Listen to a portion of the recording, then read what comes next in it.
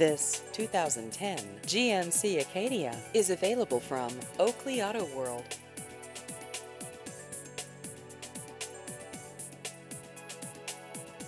This vehicle has just over 63,000 miles.